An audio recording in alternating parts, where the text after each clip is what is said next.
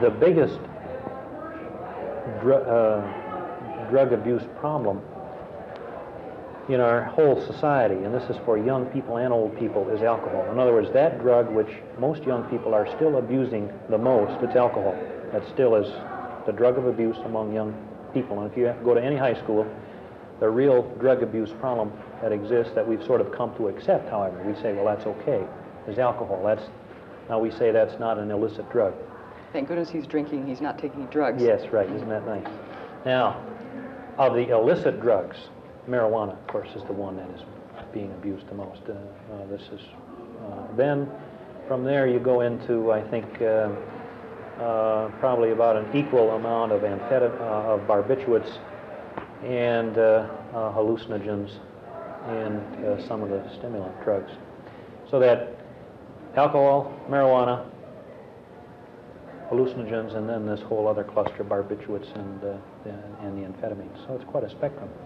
And it changes so quickly. Uh, in other words, the head community, as they're called, you know, the kids who are really using drugs, at, at one point in time, you might go talk to the heads and find that they all are turned on with psychedelics, and they, they then become very introverted, most of them, and very introspective.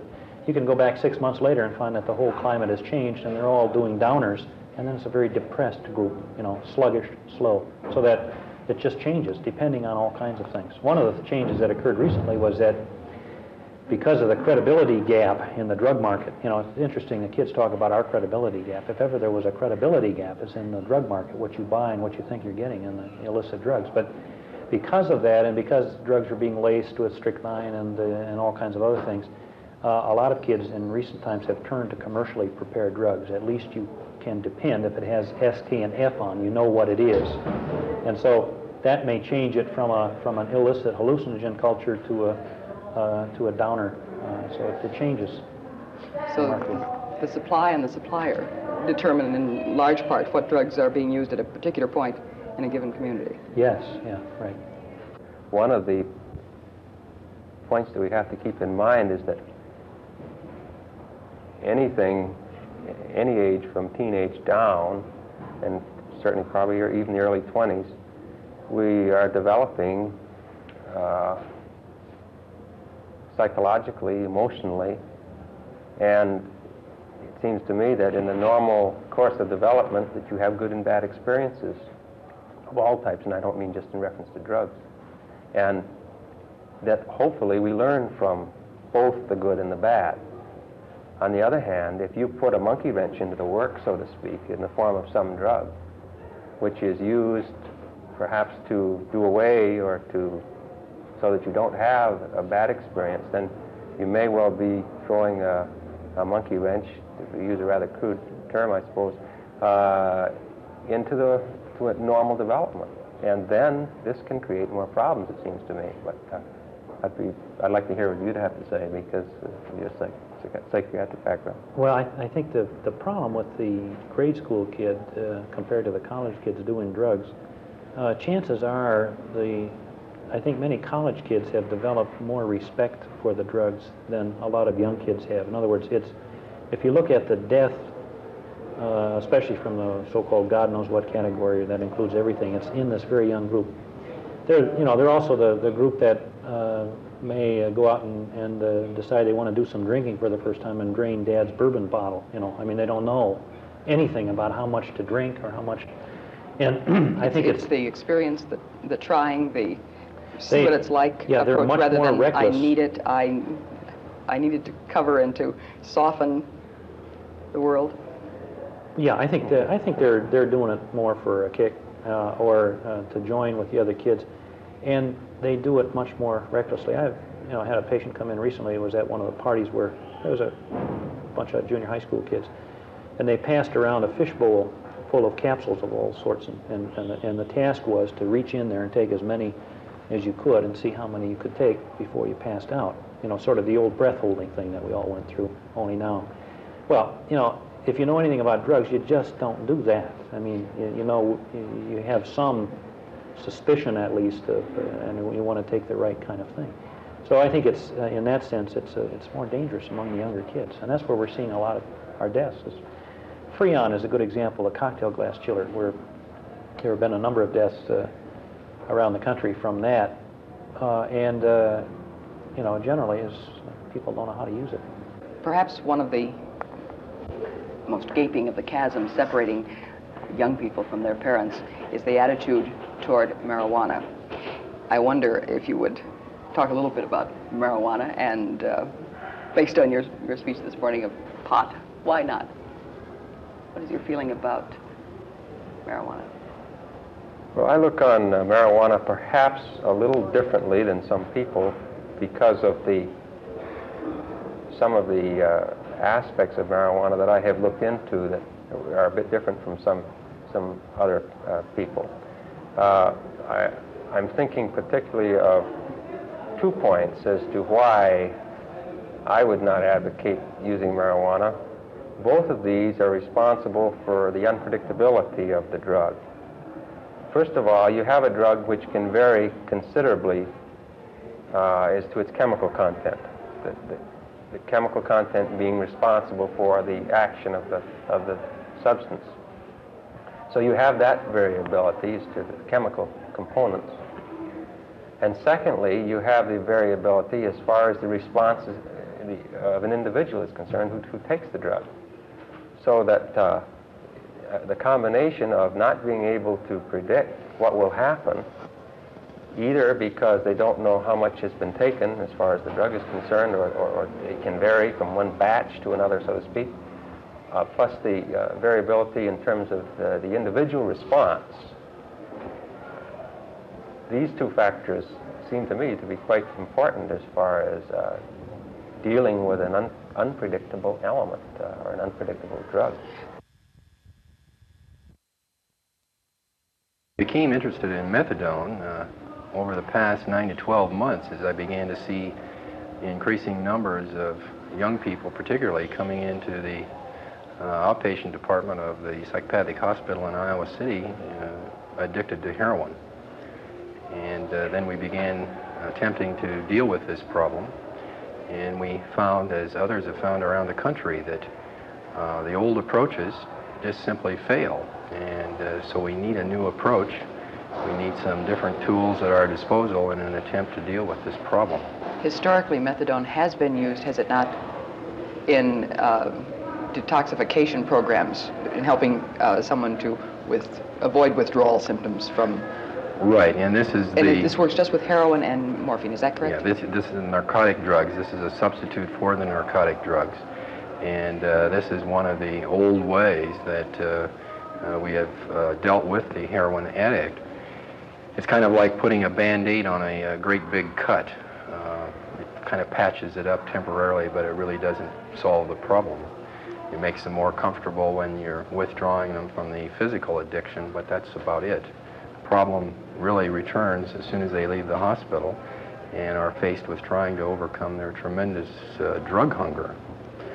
It's uh, been said that you are substituting uh, one addiction for another, and I'm the first to admit that. I think it's important to remember that more and more we look upon heroin addiction as a chronic disease, very similar to a person who has diabetes and needs insulin on a daily basis in order to live. I believe that heroin addiction likewise is a chronic disease and we should consider it as such. And uh, these people, uh, in all probability, are going to need medication for a significant period in their lives in order to be able to function. It is a addiction, but it is an addiction where the individual is functioning or able to function on a much higher level. They're able to return to their families, able to return to work, able to become useful, productive members of society again. Those who would cite Synanon as an alternative approach that does not involve the use of a counter-addictive drug, if you will, uh, would say, yes, but that isn't necessary.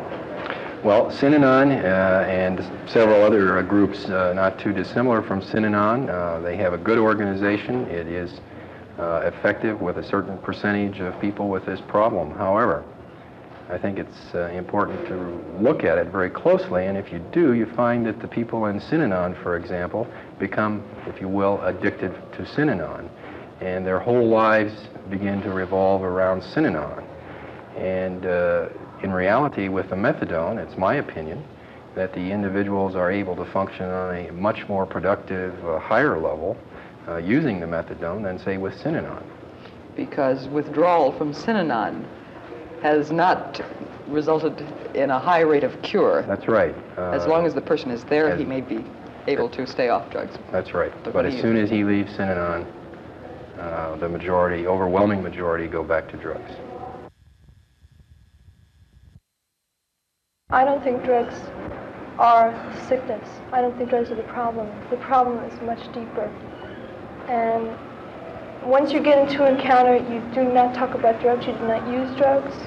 We do not talk about drugs. We don't deal with them. You know, they're very superficial. You begin to get your life in order.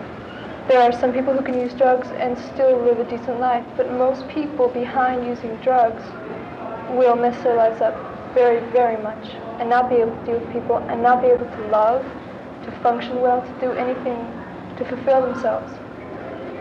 I'm interested that on all levels you use people who have been either through the Encounter pro- program or at least non-professionals in the usual terminology. Yes. What are the advantages that you see in this? Well, the advantages, for one, are that if you're talking to somebody that, that's in a totally different role than you, like a psychiatrist, you tend to talk about things. When you talk to somebody that's on your peer level, which is what happens at Encounter, even if the person is has been through the program, still basically a peer, you get at the thing, you interact with them. I mean, you're friendly with them. When they tell you they don't like something, it matters more. You don't talk about, is this good or not? They might really confront you strongly. I don't like this, or you should be doing that. And you trust them. You trust them much more. I'm interested that most people would say, well, look, if you're not taking drugs anymore, you don't have a problem. Yeah, well, I stopped using drugs three months before I ended the program, and I guess that's pretty much what I thought, you know. How old were you when you started taking drugs? I was 17. I was 17. And you run the gamut? Oh, I used a lot of pot. Uh, I became speed freak. I was using speed all the time towards the end. And when I did quit, that's when the reality and the situation I'd gotten myself into really hit me. I had a boyfriend who was indifferent to me. I just had an abortion. My parents were very hostile towards me. My grades were nothing. I had not done my work. Then the reality began to hit me because when I was high, I didn't have to think about that. It Must have been a very difficult time It was. to, It was. to come down. But what happened was, not that I began to take care of it, but that I just began crying about it a lot. And when I got into encounter, that quit. They would not let me sit around and cry about it. They said, do it. Just do it. And they don't ask why, and they don't try to find psychological explanations or anything else. They just say, do it. When you initially started taking drugs, what was the reason?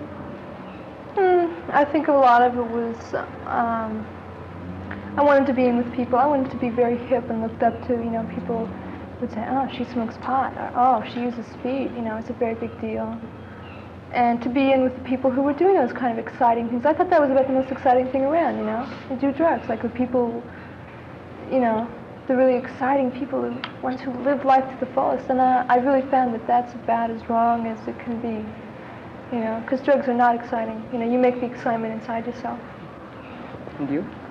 felt good. Uh, I thought I could get along with people. Mainly, I thought I could talk where I was afraid to before. And that just wore off after a while. Didn't do it anymore.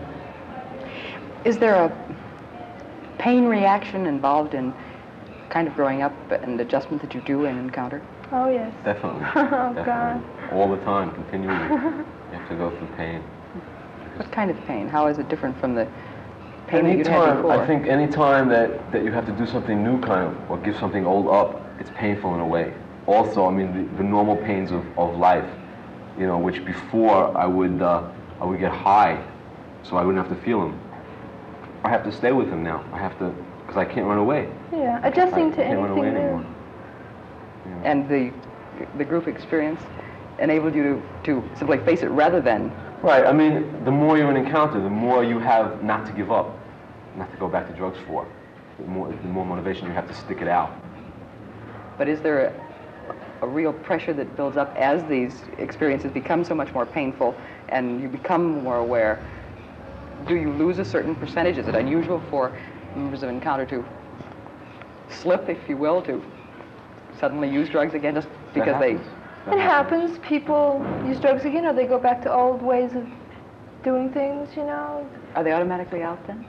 sometimes, sometimes Depends, not. it depends. Usually not automatically out, even if they would to go back to drugs once.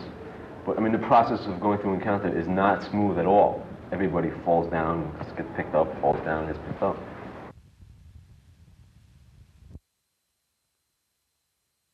Well, we've, we've gone real far. The, beautiful part of it, Betty, is it's working uh, with the people. You know, uh, when I started this whole thing, I felt that the only way government could work is if the government agency didn't run the program, the people did. And so the first statement I made to the governor was there will not be a drug abuse uh, agency. There will be one drug abuse consultant, and I will mobilize the people.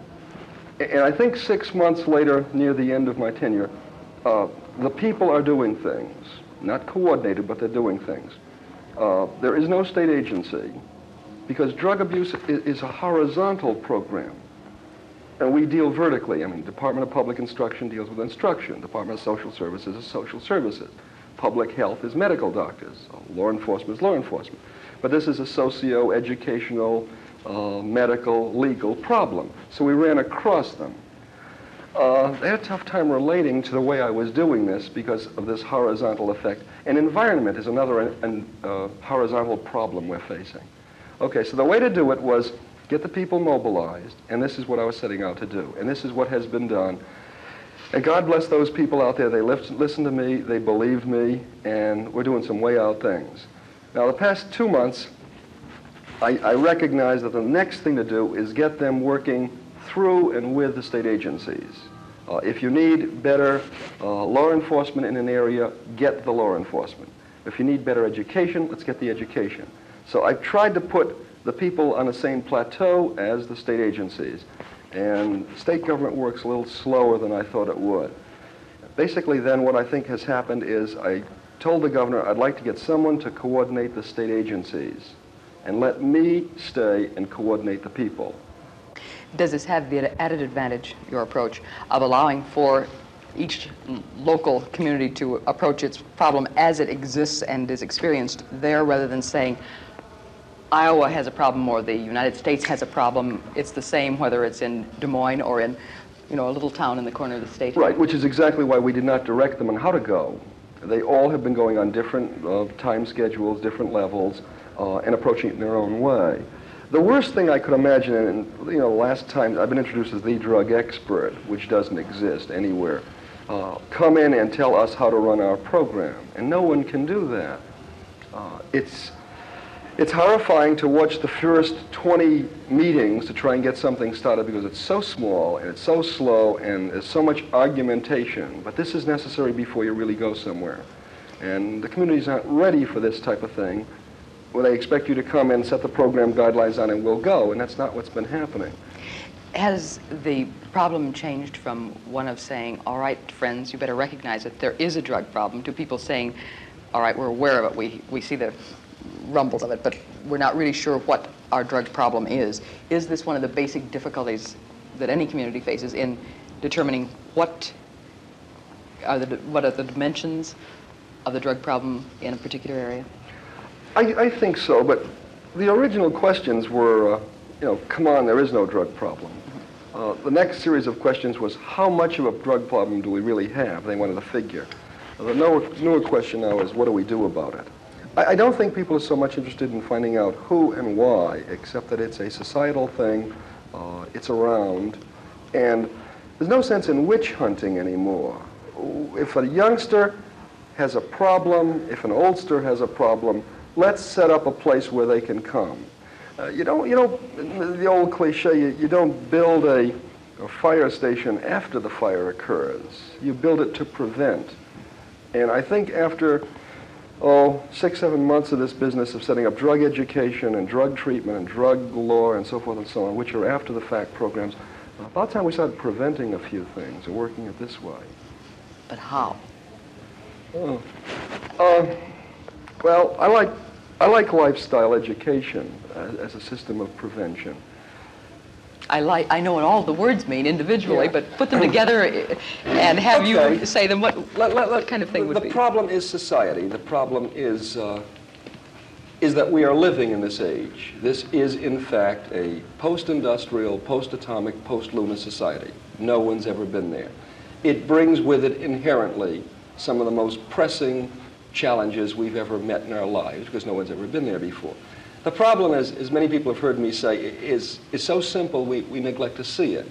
Back in the olden days, and you're in my days, if we didn't eat our asparagus and mother sent us away from the table without dessert, uh, we'd go out and we'd slam the screen door and we'd get rid of our frustrations. Okay. In 1970, if uh, little Johnny doesn't eat his dessert, you send him away from uh, his supper. You send him away from the table without dessert. He's got frustrations. He's got anxieties. He takes the screen door and he slams it. The door doesn't slam. It oozes closed. Right. I mean, all of society is designed to make life nice and easier. And obviously, tranquilizers fit into exactly that kind of theory. Why be high or low when you can be medium all the time? And of course, the number of tranquilizers does that. Okay, so how do you prevent it? You line up an education, particularly, I suppose the only group we can work with is uh, public school education. And start early, start elementary school. That will prepare youngsters to meet this kind of pressure. Because can you imagine what it's going to be like in 1980 when we're sitting here not knowing how to deal with 1970? The systems we've used, though, have been very traditional. Uh, we still teach information. We love to have them memorize all the presidents' names and all the states and all the state capitals and all the state birds and all the state mottos and all the state stones. And none of that information helps you live in 1970, plus they could read it. The things we're trying to get across are the communication, the leadership, the uh, direction that you should follow. These are just as good educational alternatives. So what happens? Um, little Johnny gets home, uh, gets a, an exam in grade three, whatever grade he's in. And the, the question is, who was the first president of the United States? And little Johnny, who has gone home and memorized and crammed and done all this good stuff, puts down Abraham Lincoln. You know, and a teacher takes off this huge red pencil, and poor Johnny is crushed because his the little dum dum doesn't know that the first president of the United States was George Washington. Who cares? If you want to orient the question to make it valid for 1970, the question should have been, was George Washington a good first president? Now that has moral value to it. That makes him think about something. And once he finds out what it took to make a president, maybe he could relate to what a president is in 1970. A better question, would George Washington make a good president today? What did it take in 1776? What did it take in 19? And then they'll start recognizing that, that Nixon puts on his pants one leg at a time, just the way the rest of us do, but he does it with a job that, God, no one would want in this day and age. My point is then give them the wherewithal to understand the circumstances that make this post-industrial, post-atomic society. Uh, Uh, two or three other examples that, that are fairly common that teachers have given to me, but we haven't passed the bond issues and so forth, you know. Um, the, the English course we teach is predicated on, on classics. Nothing wrong, and certainly I'm in favor of Shakespeare and, and, and Brahms and Beethoven and the music and, and so forth and so on. But why not use contemporary rhetoric to get across a contemporary message? Instead of staying with Silas Marner and that albatross story and all this other good stuff, the Kerner Commission report has punctuation marks, it's got capital letters, it's got paragraphs, but the message in it is meaningful to 1970. A black-white situation is there. And while reading it and taking apart their sentences and finding the paragraphs, you've got a, a thing that they can use in 1970. Okay, now we give kids grades in art appreciation. You can't grade me on how I appreciate art. Now, if I appreciate art your way, I'll get an A. But don't tell me how to appreciate art because I don't agree with you. And uh, music appreciation, you know, and, and gym, Which allows for no different drummers. Right. No different drummers anywhere. People require drugs to have a high. And the only alternative we can offer people to a high is life. Just let them be turned on with life. Kid turn on with art, turn on with anything he wants to. Right now, the kid who fails out of music appreciation with a long hair is out there and he loves a guitar. much better than any teacher in any of our school systems in Iowa ever knew about any instrument, piano, and what have you. Uh, but he failed music appreciation, you know, when he's out. We have colleges that are going to start teaching hobbies soon. You know, I mean, we're that bad. My point is that drugs are not a problem, they're a symptom of a problem. The problem has always been people. So let's start dealing with people for a change and forget the crutches that we set up, and there's millions of them, including the pipe and so forth and so on, and get down to the problems that people have in this post-industrial, post-atomic society of ours. When we solve that, drugs will go away by themselves, and hubcap stealing and child suicide and divorce rates and, and all the other things that we set up individual systems to try and solve. Uh, idealistic? Maybe.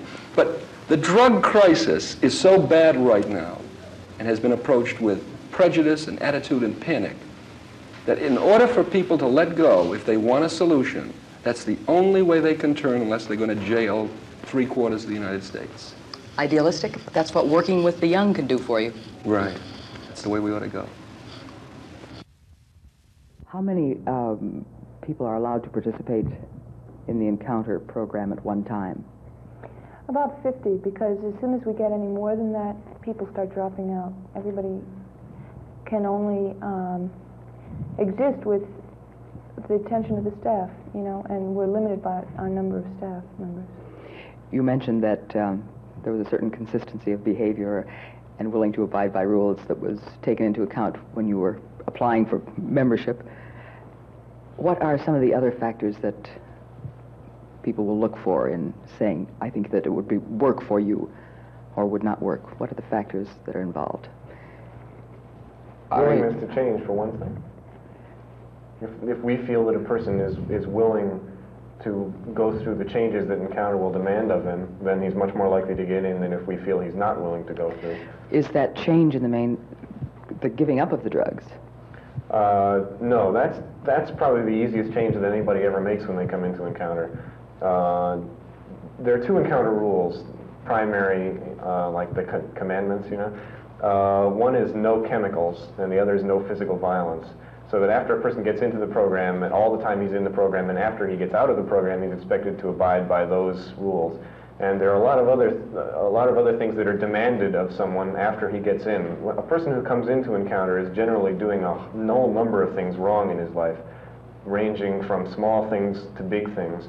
And as he's in Encounter longer and people get to know him, then the things that he's doing wrong are hopefully cut, you know, cut off one by one, and he changes he changes the bad behaviors into good behaviors, so that uh, changing changing from taking drugs to not taking drugs is one change, and the first change that a person has to make. But after that come many many others that are generally much more difficult because they're much harder to define. The way you the way you are with people is a much more difficult thing to change than just not smoking pot anymore. I think it's interesting that you view that as such an important facet rather than just saying, all right, if you have to quit, have already stopped taking drugs to come in, you know, the problem's gone. It's because we don't view it as a problem. We view it as a symptom of problems with relating to people. One of the overall characteristics, as a matter of fact, of people who come into Encounter is that they just can't make it with their friends. They just don't have friends. They can't relate to people. And so that's by far the hardest thing to learn how to do. How is it decided that this is a, that a particular characteristic is something that you should change, something you should stop doing? Mostly by group consensus, and generally it's pretty obvious. If you lie all the time and you steal money from your, per- your excuse me, mother's wallet, you know, it's, it's obvious that that's wrong. And some of the, th- of the things are just things that Encounter believes are wrong, like omitting your feelings. Some people would say, well, don't hassle people with saying that you feel lonely. They don't want to hear it and it's unnecessary because they haven't asked in the first place. We would say, you're lying unless you say that which is not really absolutely necess- necessary to say, but which is true. How often uh, do you have meetings for the, if you're, if you're going? How many times a week are you expected to be there or check in? What, what is the formal It's arrangement? Three times a week when you first come in, plus every night of the week just to hang out. It's three groups a week and four other nights to, to make friends in. And after a while, it's reduced to one night a week. How do you know when you're ready to graduate? It's, it's pretty obvious. First, first of all, I'm on the point of graduation now. Uh, and what's happened is that most of the problems that I came into encounter with are gone. I don't, I don't have the problems anymore. And the problems that I still do have uh, are ones that I know how to deal with. Um, I feel much, much better than I used to feel. And before I came into encounter, I felt uh, bad about myself in almost every way. I felt I was stupid. I felt I was ugly. Uh, I felt that nobody liked me very much. I felt that I was a little boy. Uh, I felt that I would be I would be a failure in my life no matter what I did. And all of those feelings have changed. I, you know, I now feel that I'm good looking, I'm smart, and uh, and that I'm going to be a success. And I feel like a man now, and I didn't feel that way before. And that type of change is very obvious in me, and it's very obvious in anyone who goes through the program. I mean, you can when someone comes in, you can tell just from feeling, from the feelings you get from them. Uh, generally how they're doing in their life. And when those type of that type of feeling tends, when that type of feeling starts to change, and when the person's behavior changes also, another a person who is in the program a long time generally behaves very differently from a person who's in the program a short time. You you can tell that he's ready to leave. I'm interested in uh, the statement about it's not the stopping that's hard. Is it the hard part, not starting again, as you work your way into the program, are there not times when it's very hard not to start again? So almost everyone who comes into the program eventually gets high after they get into the program. Or maybe not almost everyone, but at least 50%. In other words, they get into the program, they're in for a while, things get a little bit hard for them, and they go out and they get high. And they get in a lot of trouble at Encounter for that.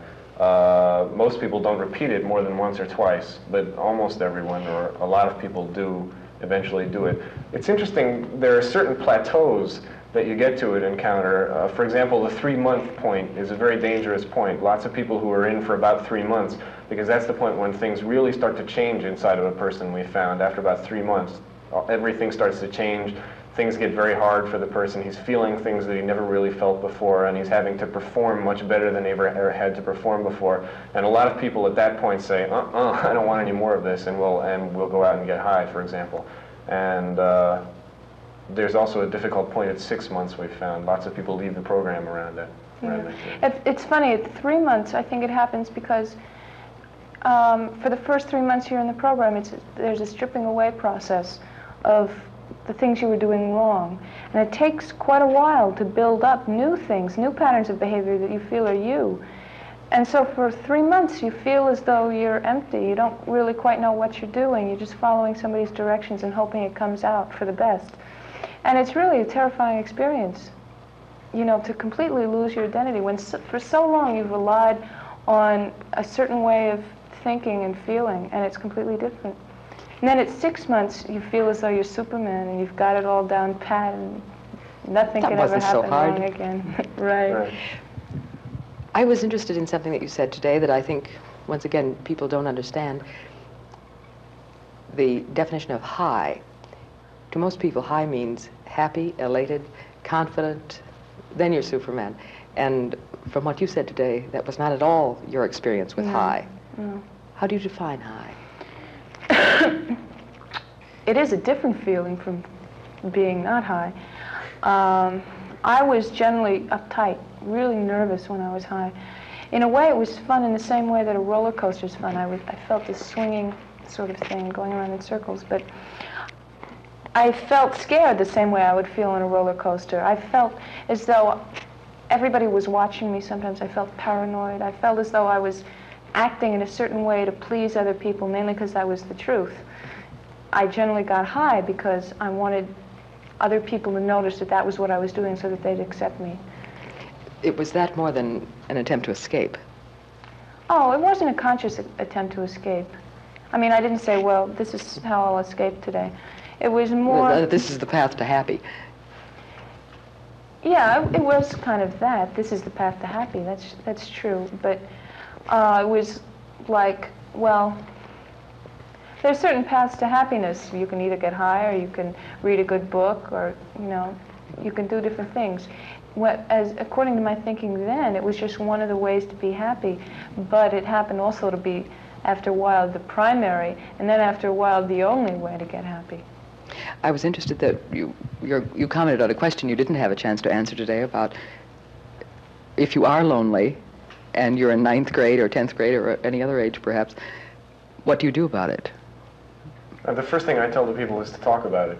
Uh, I've been asked, you know, I've been asked that question a couple of times, and I, and I think the only thing to do is to talk about it originally. Pick pick someone whom you trust and whom you like and whom you think likes you, and go and tell them where you're at. Tell them how you feel, uh, and and then make friends with them. I mean, being lonely essentially is having a lack of people whom you feel care about you, and uh, a person who is lonely should first of all admit to himself and to other people that he's lonely, and then pick some people that he really wants to be friends with, and go out and make sure that he becomes friends with those people, and make sure that those that those people know he likes them, and that he knows that they like him. If you see what I mean.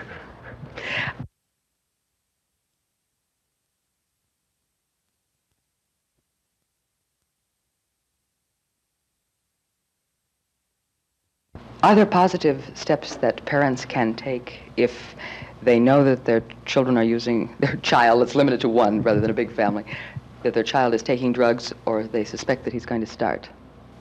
Uh, yeah, there are two two main things that parents can do. One is go for whatever type of help is available in, in the community where they live, uh, such as a, a program like Encounter, or a psychiatrist, a doctor, someone someone whom they trust, a counselor.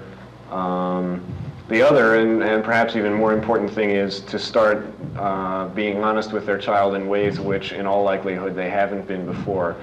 Uh, kids who get high generally have parents who don't talk to them a lot, uh, who who don't show that they care about them a lot, and who aren't very free and open with their feelings with the child. In other words, there's very little communication between parent and child in, in most instances. And uh, one thing that can really help a lot, especially if a child is, is not yet on drugs, but may be going in that direction, which is very hard for a parent to recognize, but if you should recognize it, uh, just the whole process of opening up and talking to the child and the child talking to the parent can really help. I was interested in seeing the reaction of the teenagers who were listening to you today and wondering if you had been their age now and were listening to two other people, would you have heard them? Would you have heard you? I, I would not have. I know I wouldn't have. Because I heard people, a lot of people tried to convince me not to take drugs. And a girl who's now on the staff at Encounter heard an Encounter speaking engagement just like the one we gave about a month before she joined the program. And at that point, she laughed it off. She thought it was crazy. You know, she, she insulted it all over the place.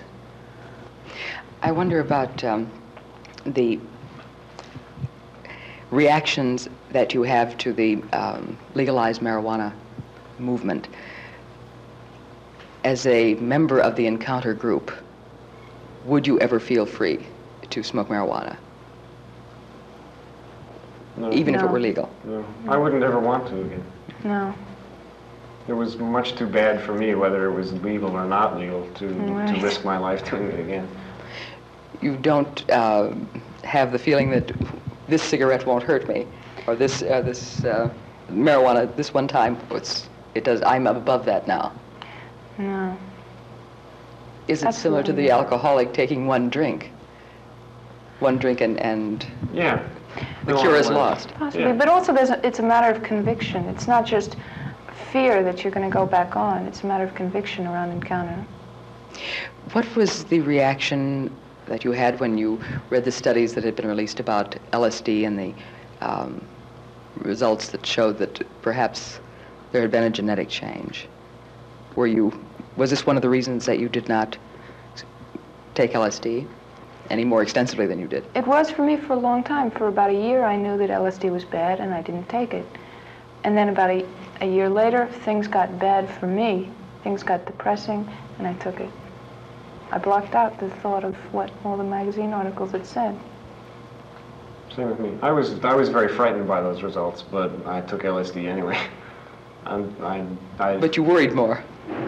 Yeah, I worried some. I, at that point, I didn't care enough really about about, about myself to, uh, you know, to not take LSD. My father at one point said to me when we were having one of our intellectual discussions about drugs, the reason I wouldn't want to take LSD is that I would never want to risk my my mind. And every time you take LSD, you do risk your mind because you never know what's going to happen.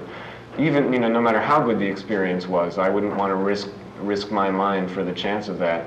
And I said, well, I would. I, you know, at that point, I was willing to take risks. But coming to my senses now, I realize that my mind is the only one I've got, and that to risk it for something like LSD is absolutely crazy. And it's the same with chromosomes. But it's the attitude that drug takers have. They just don't give a damn too much Right. about their own life or about their or about their own mind, for example. And they're children. That would be one That's thing. right. I knew that it, it messed up your children, and yet I took it. And I, children mean something to me, and they meant something to me then, but I just didn't care somehow. Why did you not go on to heroin? Or is it not, as is classically viewed, a staged progression? It's, it's not, as it's classically viewed, a stage to progression. People who take heroin have always taken marijuana before they take heroin, so that in that sense it can be viewed. But people who take marijuana don't necessarily go on to heroin. I'm, I, I was too smart to take heroin, essentially. I knew that heroin killed. And uh, I, wasn't, I, I wasn't willing to go that far to risk, to risk the chances of addiction. Uh, I, I knew how dangerous it was, dangerous it was, and I stayed away from it. It's also a matter of image. Heroin isn't nearly um, as intellectual a drug as LSD is, say. And for other people, heroin has a more glamorous image than any of the things we took have. That's very true. Do you think that the attempts to block the flow of marijuana into this country, that this is an effective way of, of dealing with the problem? As far as I've heard, it sent people on to LSD and heroin. I don't know. And has angered the Mexican businessmen. Yeah. I wonder if there are particular points that we've not covered that we should have, short of an eight-hour session.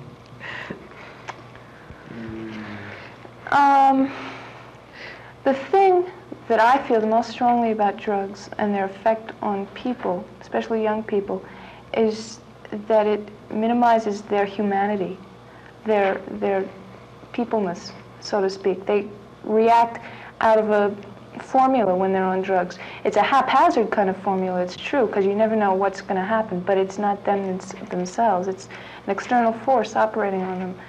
And when you act funny and not human, you're not being real. And I think that that's a destructive thing and also a tragic thing. You know, I'm bothered by one thing that you've said, and it is in the search for not being lonely or for a cure for loneliness. Both of you mentioned that I believe that, that you first started using marijuana because friends and associates did. And this was an attempt to, to fit into this group or to attract it.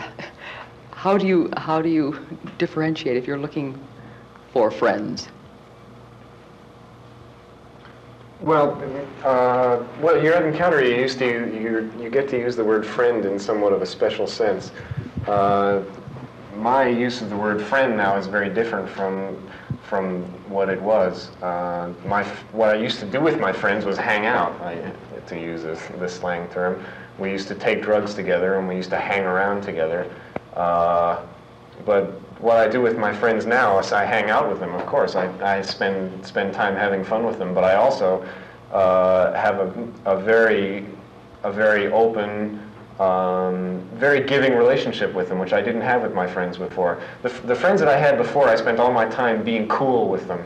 I, I, I projected an image and I did everything I could to keep up my image. I wanted to look smart and I wanted to look uh, witty. I wanted to say funny things all the time. Whereas the friends that I have now, I relate out of an honest love for them, and they relate out of an honest love for me. And we, we don't pretend to each other anymore. I, I tell my friends when I'm angry at them, and, and I tell my friends when I'm feeling bad. And I get, I get things from them that I never got from friends before. So that uh, a person who is lonely, who is looking for friends. Uh, uh, one thing a drug taker is, is not a giving person. A drug taker is so totally self-involved that he doesn't give anything to anybody, let alone himself. Uh, and so uh, that's why uh, having friends who are junkies or even potheads uh, is no solution to the problem of loneliness because they don't give a damn about you. All they care about is, is themselves.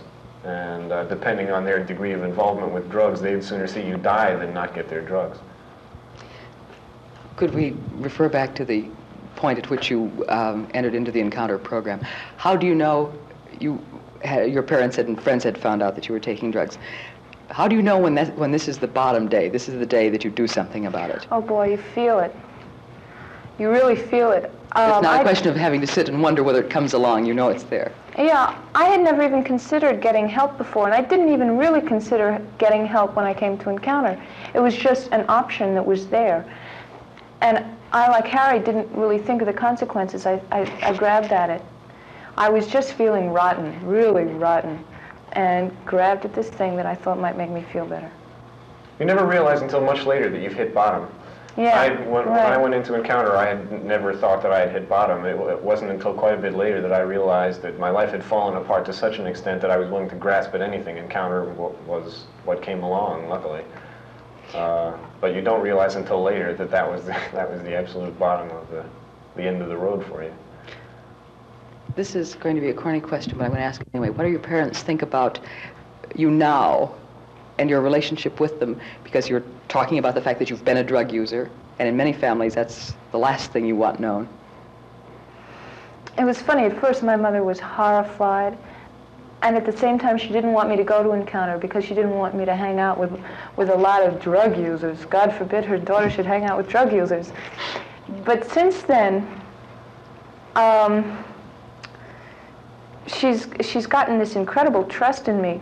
I think it's too much, as a matter of fact. But she, when sh- she's divorced from my father, and she comes to me now to ask about how what's the most honest way to handle this guy she's going out with now.